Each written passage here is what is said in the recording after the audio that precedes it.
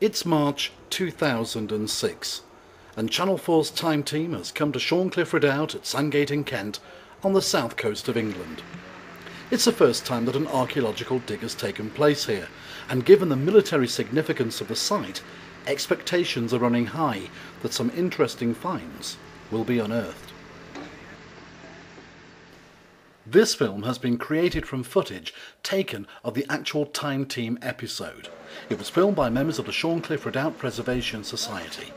The president of that society is Chris Shaw, a historian whose focus of interest and enthusiasm led him to discover the site and to begin a campaign to restore it to its former glory. Shorncliffe Redoubt has been placed on the map of history because of the French or at least the threat of French invasion back in the early years of the 19th century. It was a time of global war, with Great Britain engaged in both hemispheres from Canada to India, South America to Scandinavia. In 1789, Europe had been turned upside down when the French had a revolution and murdered their royal family. Great Britain had declared war on France, but with Austria, Prussia, Spain, and Russia suffering defeats and humiliation at the hands of the French revolutionary armies under the command of Napoleon Bonaparte, Britain needed an edge to keep the French at bay. Britain needed a secret weapon. By the end of the 18th century, and after several abortive attempts to beat the French in Flanders, the British and French armies had reached a stalemate. The Royal Navy were holding the French at bay, but invasion was becoming an ever increasing threat as the French forces gathered in strength across the Channel. Only 25 miles away, 170,000 French soldiers had assembled to bring Britain to her knees. In 1800, the British government held a competition to find a new firearm, and on the 14th of February that year, the Board of Ordnance made the announcement that Mr. Ezekiel Baker had won with his revolutionary invention. It was a rifle. All that was needed now were the men to use this new weapon. Coincidentally, in the same year, Colonel Coote Manningham had published the standing orders for his experimental corps under the title Regulations for the Rifle Corps formed at Blatchington Barracks under the command of Colonel Manningham. They became the Experimental Rifle Corps, who in 1802 were brought into the line as the 95th Rifle Regiment of Foot.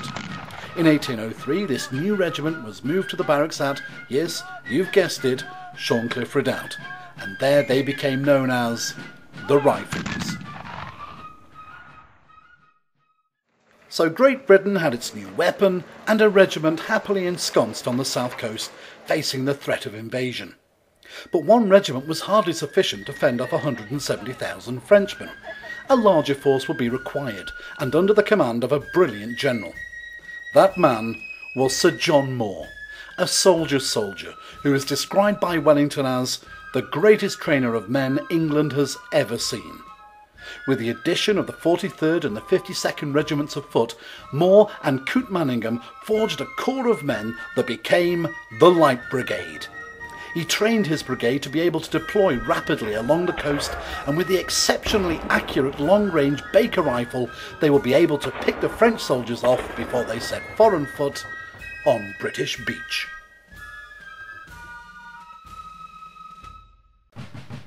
Tragically, both Moore and Coote Manningham were killed in 1809 during the Corunna campaign, whilst fighting the French in the Spanish Peninsula.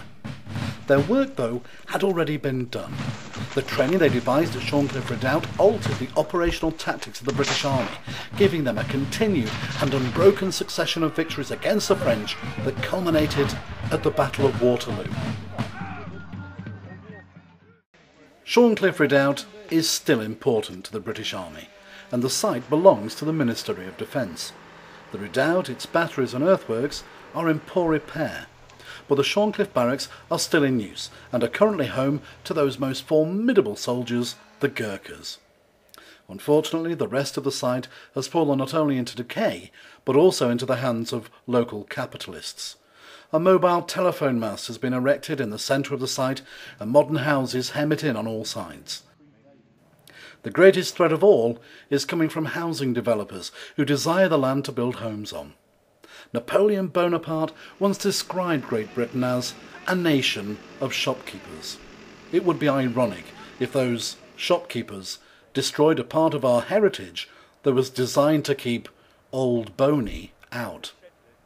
The Shorncliffe Redoubt Preservation Society, working alongside the Ministry of Defence, is dedicated to preserve this site and to make it accessible to visitors who wish to know more about the birthplace of the modern infantryman.